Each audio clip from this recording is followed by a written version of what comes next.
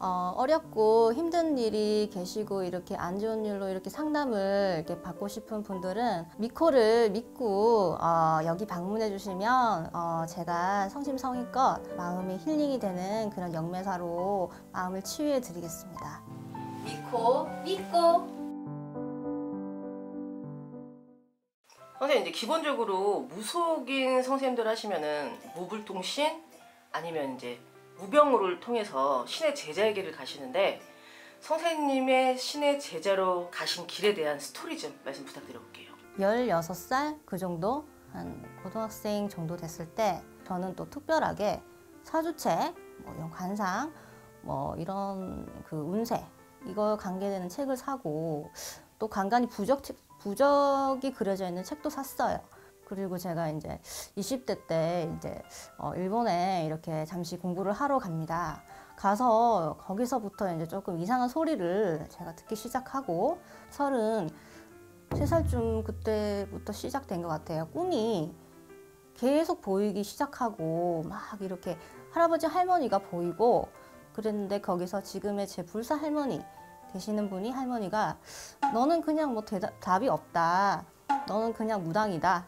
그 이후에 그래서 이제 올해 38살 되던 해 그럼 저는 이제 어, 결심했죠.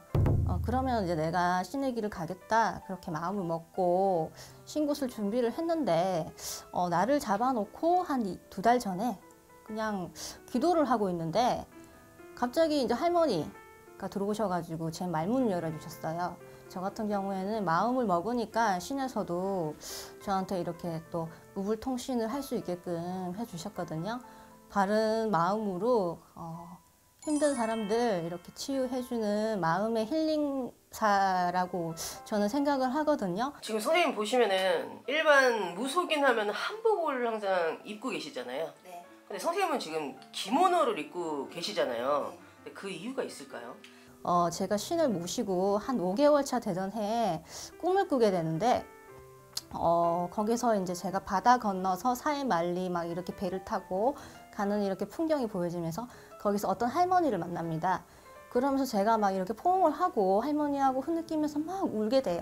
저녁에 기도를 한번 해볼까 하고 이제 앉아서 기도를 드리는데, 어, 그 할머니가 갑자기 우시면서 내가 일본에서 왔다 하면서 큰 소리로 막 소리를 지르시고 하시면서 어, 내 이름이 미코다 어, 하시, 하시는 거예요. 그래서 자기 원, 한, 원지고 한진 거를 너가 좀 대신 좀 풀어줄 수 있겠니 하면서 굉장히 또 자기를 알아줘서 고맙다. 그 꿈에 나왔던 할머니가 나다. 하시면서 저한테 이렇게 메시지를 주셔가지고 그래 제가 미코 신녀로 이렇게 또 이름을 또 지어주셔가지고 이걸로 또 지었고 또 기모노는 할머니가 이렇게 또 입으시라고 또 메시지를 주셔가지고 이 할머니가 또 일본에서 오셨기 때문에 어, 한국말도 굉장히 잘하셔요. 그래서 이렇게 기모노도 입고 또 이 할머니 특징은 우리 한국 신령님은 뭐 이렇게 또 부채 방울이나 뭐 이런 거를 드시고 하시는데 일본 할머니 특징은 이렇게 저기 산, 산통 산통점을 또 주로 보시고 해서 어, 또 특별한 점은 그 점이 좀 있습니다. 그 다음에 저기 물점을 봐요 제가. 그래서 이제 물을 보면서 얘기를 하면서 점을 보는 게 있습니다. 특별한 점은 이제 한국 신령님하고 다른 점은 또 그런 점이 또 계세요. 제가 물점 얘기를 좀 들었는데 물점은 거의 사진을 띄워서 본다고 말씀들을 하시거든요. 저는 사진을 굳이 보지 않아도 저는 그냥 이렇게 물로서 대화를 하면서 신령님을 청하면 그 신령님이 다 알려주시기 때문에 굳이 화- 사진을 굳이 안 해도 가능합니다. 제가 볼 때는 좀 특별한 영감함이 좀 있으신 것 같아요. 그래서 이 영상을 보시는 이 시청자 여러분께 선생님이 마지막으로 PR하실 수 있는 시간을 좀 드려볼게요.